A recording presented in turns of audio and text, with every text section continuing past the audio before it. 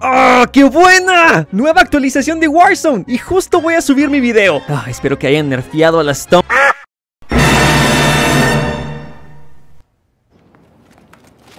Ok, espera, antes de que digas, ay, la maldición de Félix otra vez, quiero que veas cuánto nerfearon a la OTS en realidad.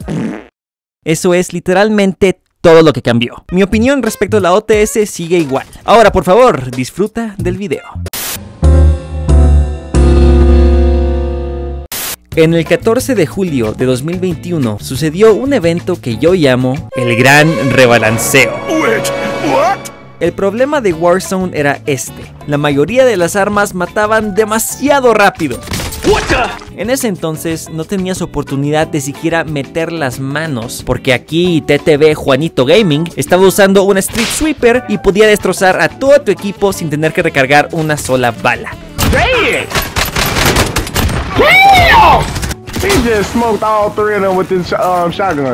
Entonces, la solución de Raven Software fue nerfear todo. La intención de este nerf masivo era que el tiempo para matar promedio de Warzone aumentara. Y echándole un vistazo a los subfusiles, pareciera que la mayoría quedaron balanceados.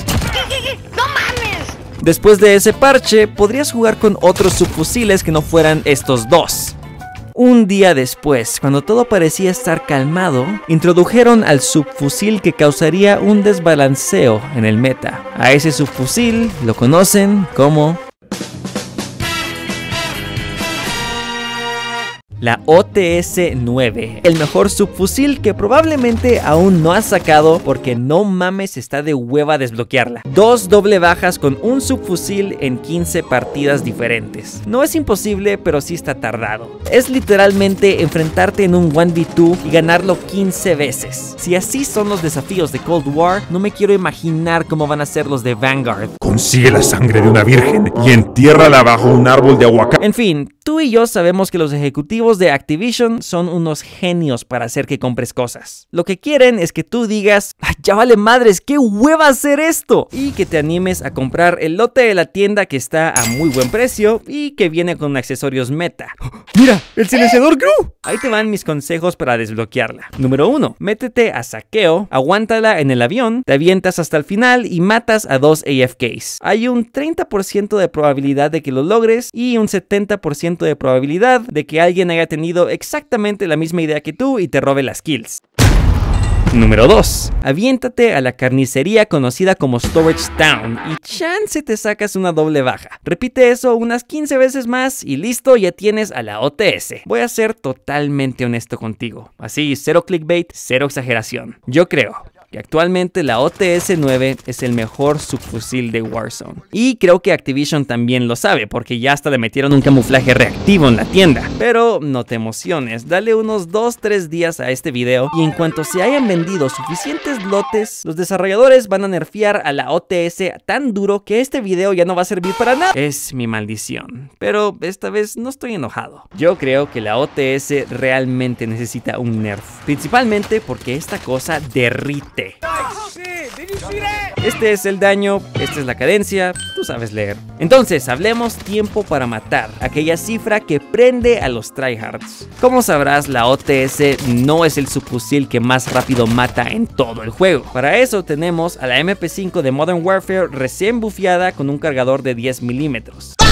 Y después de ella tenemos a la AUG, de la cual ya hice un video, ya sabes por si le quieres echar un vistazo. Si se supone que estos dos subfusiles matan tan rápido, ¿por qué no ves a más personas usándolos? Yo te diré por qué. Es porque la mayoría de los jugadores de Warzone apuntan con las patas. Y yo sé que no va a faltar el pro player en los comentarios diciéndome, eh, espérate, pero yo sí sé apuntar. Déjate de mamadas, Félix. A ver, güey, mira, si realmente fueras bueno, no estarías tomando consejos de un güey que usa la grau con y la car con zoom variable. Si quieres ser un tryhard, estoy seguro que hay un TikTok tumbado que te explica cómo hacerlo. Oh, mira, Otro clip de renacimiento donde el güey se resbala y todo se ve en cámara lenta. oh. En fin, estos dos subfusiles tienen la desventaja de tener muy pocas balas en sus cargadores. 30 balas y 32 balas respectivamente. Lo suficiente para quizás abatir y rematar a dos jugadores. O si eres como yo, todo el cargador para abatir a una sola persona.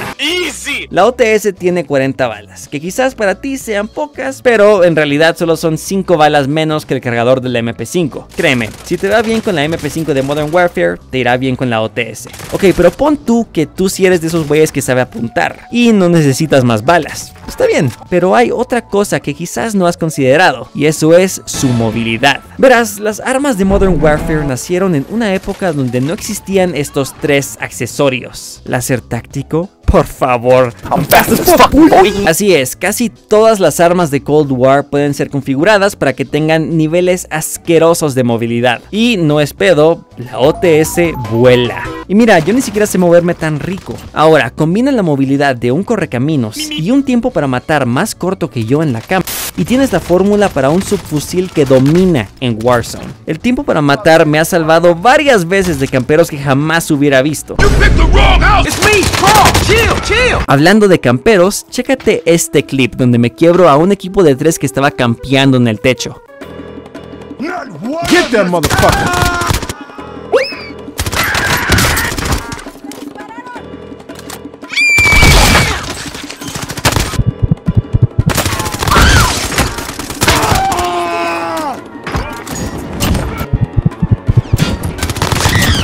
Por eso que si vas a campear, mínimo ponte placas. Ahora, ahí te va lo malo de la OTS. Este subfusil es como una escopeta. Antes de los 8 metros te aseguro que vas a ganar la mayoría de tus encuentros. Pero más allá de eso, la OTS dispara grapas. Y para visualizar esto, es así como se ven los 8 metros de distancia. La verdad es muy poco. Aquí tu tiempo para matar pasa de ser uno de los más cortos del juego a uno de los más agonizantemente lentos del juego. Sin embargo, hay una manera de contrarrestar a esta desventaja. Debido a que te mueves a la velocidad de la luz con la OTS, es muy fácil recortar esa distancia entre tú y tu enemigo. Solo requiere mucha paciencia y un poco de suerte de que el otro güey no te voltee a ver.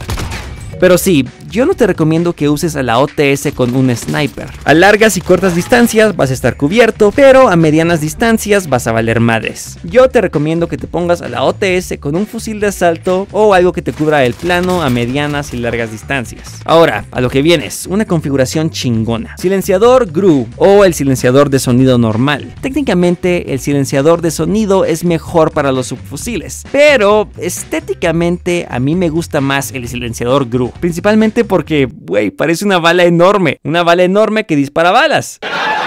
Soy tan ocurrente.